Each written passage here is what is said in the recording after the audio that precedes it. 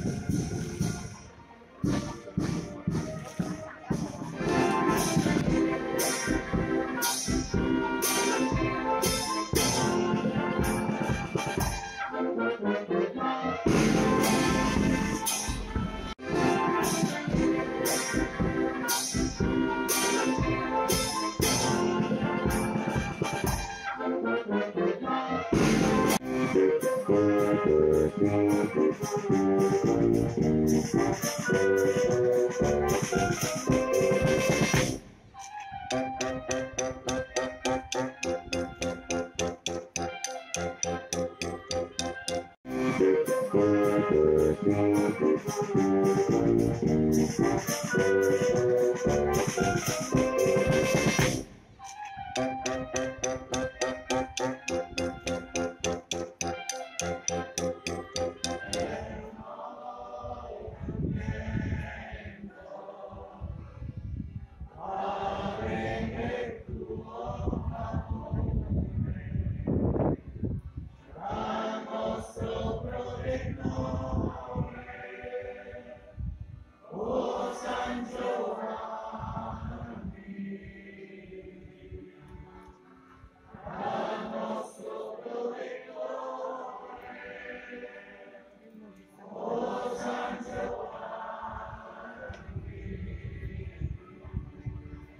Gloria al Padre, al Figlio e allo Spirito